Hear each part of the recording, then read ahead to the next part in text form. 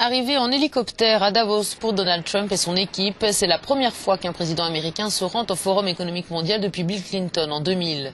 Donald Trump doit dîner ce jeudi soir avec des chefs d'entreprise européennes avant de prononcer un discours très attendu vendredi. Une intervention dans laquelle il veut raconter au monde à quel point l'Amérique est formidable et comment elle va bien. Notre pays est enfin en train de gagner à nouveau, avait-il tweeté peu avant de quitter les États-Unis. La venue de Donald Trump devrait satisfaire Emmanuel Macron, qui s'est félicité d'être à l'origine de la présence du président américain dans la très chic station alpine. Ce dernier doit s'entretenir notamment avec le chef du gouvernement israélien, Benjamin Netanyahou, ainsi qu'avec la première ministre britannique, Theresa May. À Davos, Donald Trump est en tout cas attendu avec des sentiments mitigés.